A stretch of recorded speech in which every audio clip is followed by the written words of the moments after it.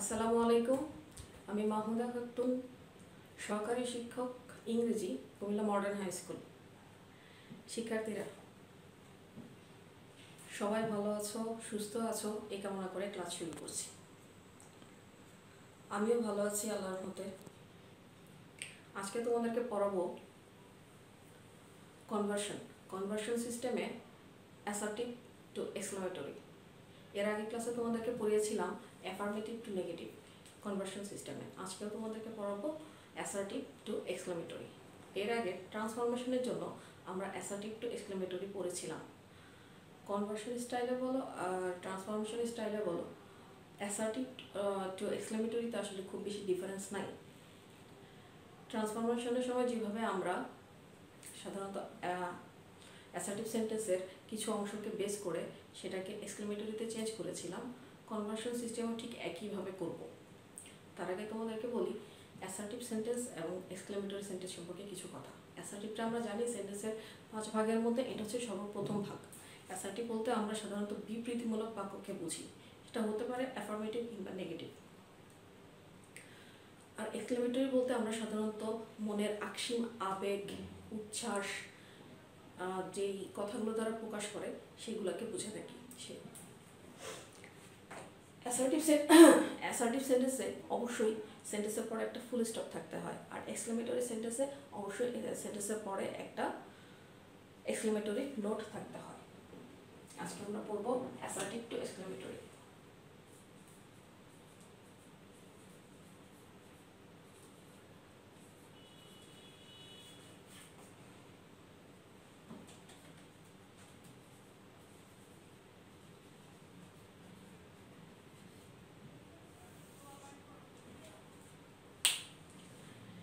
assertive sentence থেকে exclamatory সেন্টেন্সে কীভাবে নিয়ে যাব?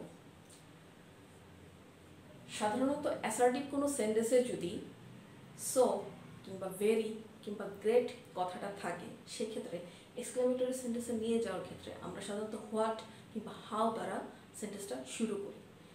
এখানে আমি কিছু সেন্টেন্স লিখি, খেয়াল করো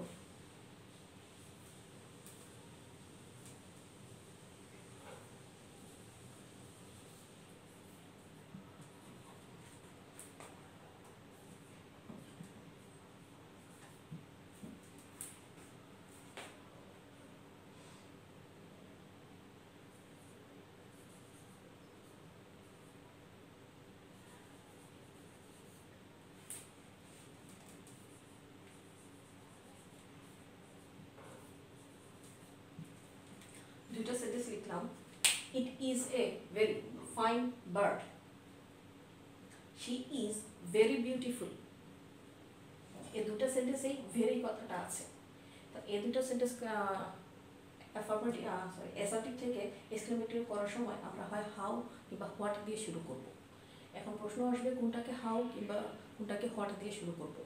সেন্টেন্সে যদি ভেরি কিংবা গ্রেট কিংবা সো কথা থাকে এবং তার পূর্বে যদি এ কথাটা থাকে, তাহলে সেন্টেন্সটা সাধারণত শুরু করব হোয়াট দিয়ে? এক্ষেত্রে আমরা কি করব?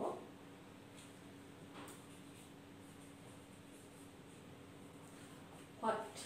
হোয়াটের পর অবশ্যই এই কথাটা বসবে। এরপর ভেরি কিংবা গ্রেট কিংবা সো যাই থাকুক, তার পরের অংশটা বসবে।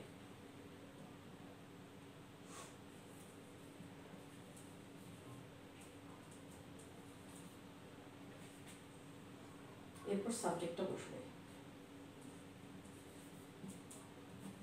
এবং সর্বশেষে ভার্ব বসবে। সর্বশেষে কি বসেছে? ভার্ব বসেছে।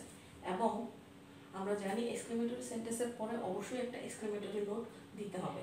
আমাদের এমন অনেক অপশন থাকতে পারে, হয়তো সেন্টেন্স মানে পুরোটাই একরকম, কিন্তু কোনোটাতে হয়তো বা ফুল স্টপ দেওয়া আছে, কোনোটাতে এক্সক্লেমেটরি নোট দেওয়া আছে। তো আমরা অবশ্যই মনে রাখতে হবে যে এক্সক্লেমেটরি সেন্টেন্সের পর অবশ্যই এই নোটটা থাকতে হবে। তাহলে সেন্টেন্সটা আমরা কীভাবে অ্যাসার্টিভ থেকে এক্সক্লেমেটরিতে নিয়ে গেলাম? শুধুমাত্র এর উপর ভিত্তি করে। এখানে আমরা সেন্টেন্স শুরু করলাম হোয়াট দিয়ে। তারপর কি লিখলাম? What a fine bird it is এর পরের সেন্টেন্সে কি আছে? শি ইজ ভেরি বিউটিফুল এখানে যেমন ভেরি ছিল, এখানে ভেরি আরেকটা কথা বলছি, যখন অ্যাসার্টিভ সেন্টেন্স থেকে এক্সক্লেমেটরিতে নিয়ে যাব, যেই সেন্ট ওয়ার্ডটার উপর ভিত্তি করে আমরা হাউ কিংবা হোয়াট দিয়ে শুরু করি, সাধারণত সো কিংবা ভেরি কিংবা গ্রেট এটা এক্সক্লেমেটরি সেন্টেন্সে বসবে না। এক্সক্লেমেটরি সেন্টেন্সে এসে এই কথাগুলো উঠে যাবে। তো দেখো, পরের সেন্টেন্সটাতে কি লেখা আছে? শি ইজ ভেরি বিউটিফুল এখানে যেহেতু এই কথাটা নাই, সেক্ষেত্রে এই সেন্টেন্সটা শুরু করব হাউ দিয়ে।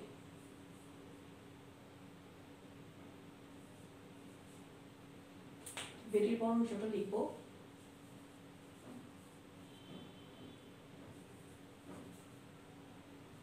সাবজেক্ট এবং ঠিক আগের মতোই ভার্ব এবং সর্বশেষে exclamatory note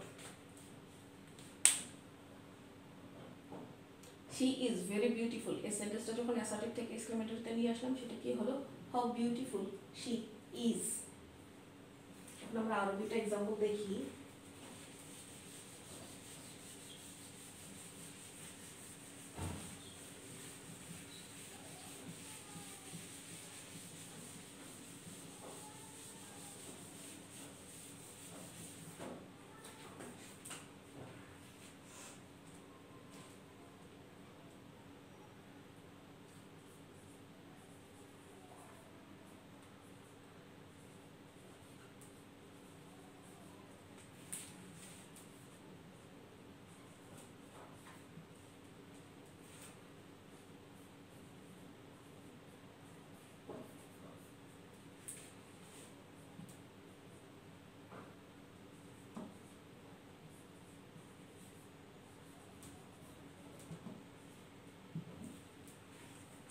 প্রথম সেন্টেন্সটা হলো, তমাল ইজ এ গ্রেটফুল আমরা জানি যে শুধুমাত্র ভেরি না গ্রেট কথাটা থাকলেও সেটাও হোয়াট অথবা হাউ দিয়ে শুরু করতে হবে। আর যেহেতু গ্রেটের আগে এ আছে, সেক্ষেত্রে আমরা সেন্টেন্সটা শুরু করব হোয়াট দিয়ে।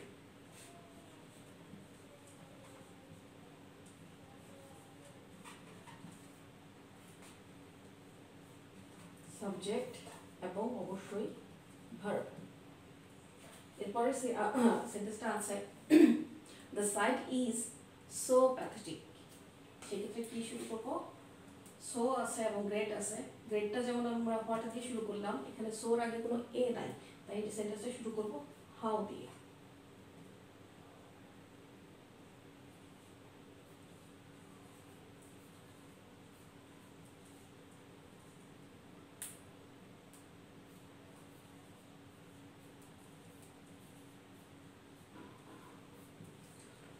How pathetic the sight is. আমরা আবারও বলছি গ্রেট কিংবা সো কিংবা ভেরি এর আগে যদি এ থাকে, তাহলে আমরা সেন্টেন্সটা শুরু করব হোয়াট দিয়ে, আর যদি এ না থাকে, তাহলে শুরু করব হাউ দিয়ে। এবং এক্সক্লেমেটরি সেন্টেন্সে গিয়ে অবশ্যই সো ভেরি গ্রেট এই কথাগুলো উঠে যাবে, এবং সেন্টেন্সের পরে অবশ্যই এবং অবশ্যই এক্সক্লেমেটরি নোট দিতে হবে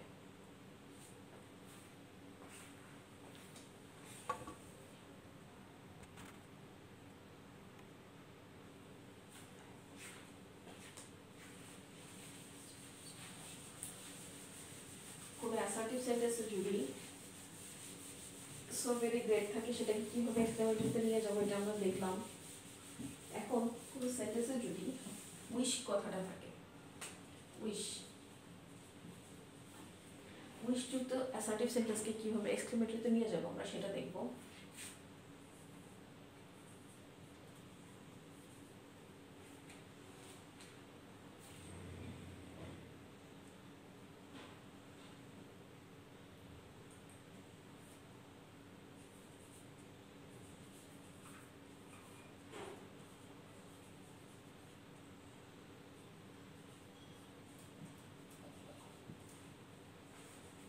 ট্রান্সফরমেশন থেকে যখন আমরা অ্যাসার্টিভ থেকে এক্সক্লেমেটরি করেছিলাম, তখনও তোমাদেরকে দেখিয়েছিলাম যে আই উইশ অথবা উইশ যুক্ত সেন্টেন্সকে অ্যাসার্টিভ থেকে এক্সক্লেমেটরিতে নিয়ে যাওয়াটা সবচাইতে সহজ। অ্যাকচুয়ালি তেমন কিছুই করতে হয় না। শুধুমাত্র আই উইশের জায়গায় একটা ইফ বসাই দিব। ইফ তাতে সেন্টেন্সটা অ্যাসার্টিভ থেকে এক্সক্লেমেটরিতে চলে যাবে। যেমন এখানে আছে I wish I could go there in time এই সেন্টেন্সের আই উইশের জায়গায় যদি শুধুমাত্র ইফ বসাই, তাহলে এটা হয়ে যাবে if I could go there in time অথবা I wish I were a princess সেক্ষেত্রে কী হবে? If I were a princess অথবা I wish I had the the wings of dove সেক্ষেত্রে আমরা সেটাকে যখন এক্সক্লেমেটরিতে নিয়ে যাব, সেটা হবে if I were if I had the wings of a dove ঠিক আছে? তাহলে আমরা বুঝলাম যে আই উইশ যুক্ত সেন্টেন্সকে যখন আমরা অ্যাসাটিভ থেকে এক্সক্লেমেটরিতে নিয়ে যাব, শুধুমাত্র উইশ কিংবা আই উইশের জায়গায় একটা ইফ বসিয়ে দিব।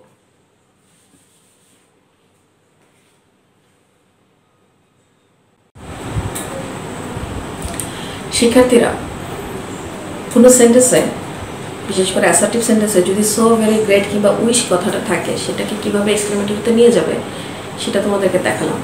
কিংবা অনেক সেন্টেন্স আছে যেটাতে এই ধরনের কোনো ওয়ার্ডই থাকে না। সেক্ষেত্রে ওই ধরনের সেন্টেন্সকে আমরা কীভাবে অ্যাসার্টিভ থেকে এক্সক্লেমেটরিতে নিয়ে যাব? একটু খেয়াল করো। ধরো, তোমাদের সামনে একটা সেন্টেন্স আছে।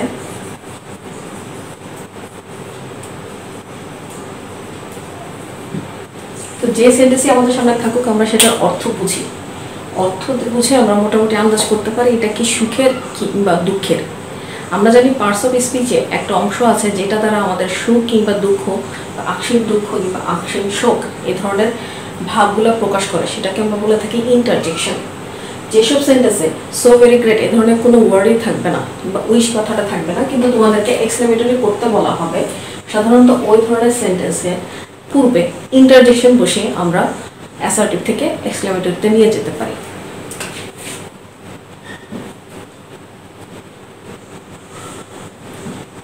যেমন এখানে আমরা বসাতে বলতে পারি।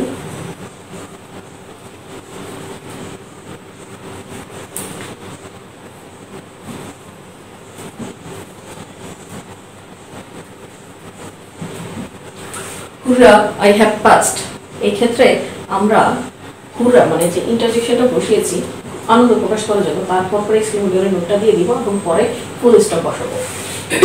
ঠিক এটা বিপরীত যদি হয়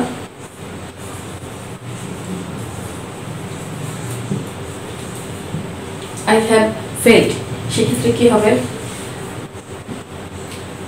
কষ্ট কিংবা দুঃখ প্রকাশ করে এমন একটা ইন্টারজেকশন বসিয়ে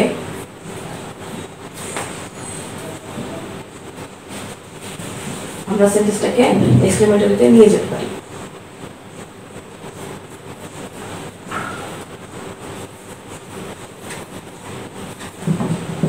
এই ক্ষেত্রেও ইন্টারজেকশনের পরপরই আমরা এক্সক্লেমেটরি নোটটা বসিয়ে দেব। তো যেসব সেন্টেন্সে সো ভেরি গ্রেট থাকে কিংবা উইশ থাকে কিংবা যেসব সেন্টেন্সে এগুলো কোনো কিছুই থাকে না, সব ধরনের অ্যাসার্টিভ সেন্টেন্সকে কীভাবে অ্যাসার্টিভ থেকে এক্সক্লেমেটরিতে নিয়ে যাওয়া হয় সেটা তোমাদেরকে বললাম। ঠিক যদি সেটা বিপরীত থাকে, কোনো সেন্টেন্সে যদি তোমাদেরকে এভাবে থাকে what a fine bird it is সেক্ষেত্রে আমরা কি করব? সেক্ষেত্রে আমরা করব কি? যেহেতু কথাটা হোয়াট দিয়ে আছে তাহলে আমরা বুঝব অবশ্যই এখানে একটা ভেরি কিংবা গ্রেট জাতীয় কথা থাকবে। ঠিক সেভাবে করব। সেটাকে বিপরীত দিকে নিয়ে আসব। যেমন আমাদের যদি থাকে,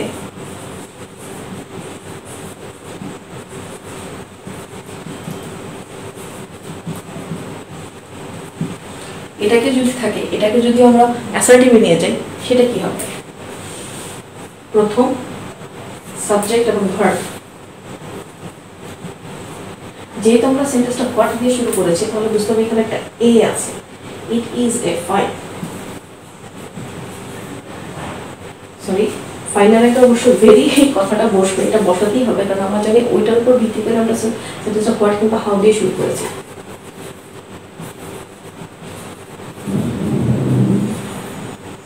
ঠিক একইভাবে হাউ দিয়ে যদি কোনো সেন্টেন্স থাকে, এই রুলটা ধরে, যে রুলটা ধরে আমরা অ্যাসার্টিভ থেকে এক্সক্লেমেটরি দিকে আগিয়েছি, ঠিক সেই রুলটা ধরেই আমরা সেভাবে এক্সক্লেমেটরি থেকে অ্যাসার্টিভে নিয়ে যাই। যেমন তোমাদের সামনে যদি আই হ্যাভ পাস্ট কথাটা না থাকে, যদি থাকে হুরা আই হ্যাভ পাস্ট অথবা আহ আই হ্যাভ ফেল্ট এ ধরনের কথাটা থাকে এবং তোমাদের সামনে কয়েকটা অপশন দেওয়া থাকে, সেটা দুইভাবে তোমরা দেখতে পারো। দেখো, যদি ইন্টারজেকশনটা বাদ দিয়ে দাও, বাকি অংশটাই হয়ে গেল অ্যাসার্টিভ অথবা কথাটা তোমাদের সামনে এইভাবে অপশন থাকতে পারে it is a matter of sorrow that অথবা it is a matter of joy that হ্যাঁ? যদি তুমি হুরা দিয়ে কোনো তোমাদের সামনে কোনো কোশ্চেন থাকে, তাহলে বুঝতে হবে সেটার সেটার অ্যাসার্টিভ হবে it is a matter of joy that আর যদি আহ থাকে তাহলে কি হবে? অথবা অ্যালাস থাকে তাহলে হবে it is a matter of sorrow that অর্থাৎ ঠিক একটা রুল যদি আমরা পারি, অর্থাৎ অ্যাসার্টিভ থেকে এক্সক্লেমেটরি নেওয়ার রুলটা যদি আমরা পারি, তাহলে অটোমেটিক্যালি আবার এক্সক্লেমেটরি থেকে অ্যাসার্টিভে আনার রুলটা আমরা মোটামুটি আয়ত্ত করে ফেলতে পারব। মোটামুটি তোমাদের সিক্স হিসেবে যা পরীক্ষায় আসার কথা, সেগুলো তোমাদেরকে দেখালাম। তোমরা বাসায় আরও প্র্যাকটিস করো। তোমাদের সামনে অনেক বই আছে, সেখান থেকে প্র্যাকটিস করো। যে এক্সারসাইজগুলো আছে প্র্যাকটিস করো। কিংবা যে মডেল কোশ্চেনগুলো আছে, সেখান থেকে প্র্যাকটিস করো। আশা করি পরীক্ষা সবাই পাবা এবং সবাই ভালো রেজাল্ট করবা। আশা করব সবাই ভালো রেজাল্ট করবা এবং সবাই সুস্থ থাকবা, ভালো থাকবা। আল্লাহ হাফিজ।